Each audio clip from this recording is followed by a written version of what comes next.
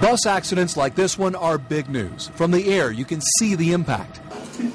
But if you watch a crash unfold from inside the bus, you get a whole different perspective on the chaos. This is a rollover simulation provided by IMMI. The Westfield, Indiana company is the world's largest maker of child restraint components and home to one of the most sophisticated crash test labs in the country. It's also the company that supplied this new bus to Heritage Christian School in Indianapolis. Now, Indiana does not have a law requiring lap shoulder belts on school buses, but Heritage Christian has been using them for eight years anyway. The last thing I want to do is to go to a hospital or, heaven forbid, a, a funeral home and say, we could have maybe protected your child. I, I want to sleep at night. Ron Young is Human Resources Manager at Heritage Christian. When IMMI told Young it wanted to test seatbelts on the Heritage bus fleet, it did not take Young long to make up his mind. I guess I looked at it as what's the price of a kid's life? Um, and I wanted to make sure that I could look at a parent and say, I made that decision because I wanted another brand new bus. No, it's, we're all about the kids. Today, Heritage has lap shoulder belts on all eight of its buses. Now, Heritage can't buy new buses as often as it used to, and new ones cost $7,500 more than buses without belts, about $87,000. But transportation manager Miriam Goodman could not be happier. We tell our kids that we love them.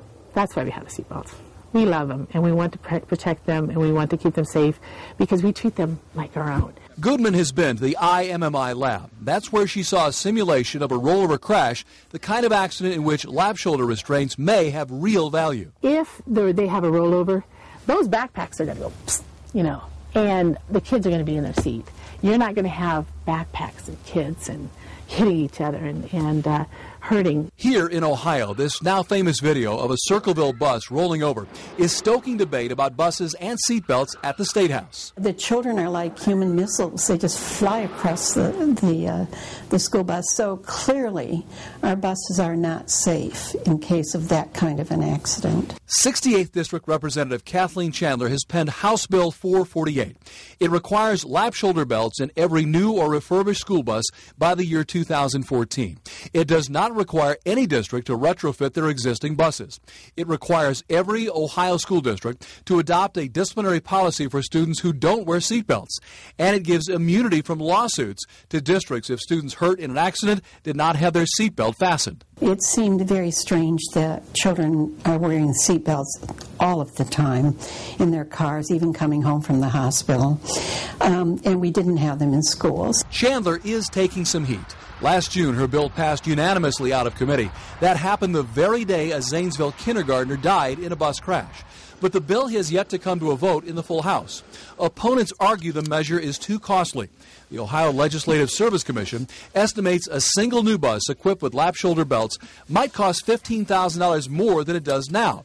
Opponents also say districts will have to hire aides to get the children buckled in. Chandler disagrees. I don't buy the idea that they need to monitor, walk the children to the seat and buckle them in. Uh, kids learn how to handle those seat belt buckles when they're very young. They do it day at home in their cars.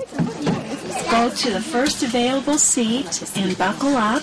At Heritage Christian, they use the buddy system.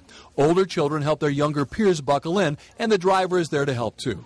And Miriam Goodman says routes don't take any longer than they did before the students wore belts. I really haven't had a, t- had a time where I'd have to say, oh, I have to add five minutes to this stop because there's a large group of kids getting on and they need to buckle up. And so that it's, it's the large group of kids getting on to sit down uh, and I would I would adjust the time because of that. It's never considering you know how long is it going to take them to buckle up. The speed of an evacuation is also a concern for critics. Several Dayton area transportation directors we surveyed for this story were fearful a fire on a bus with belts would trap students.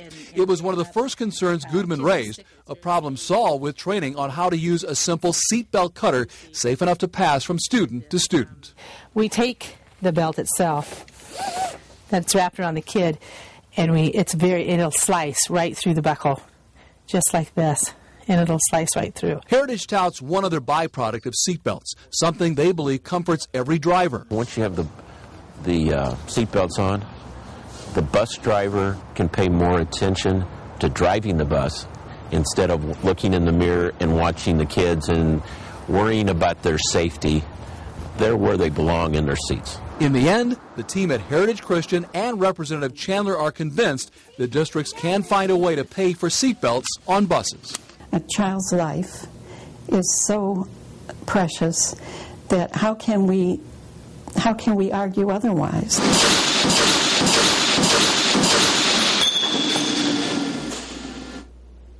But Representative Chandler does not have much time left to get her bill to a vote. Her term in the State House ends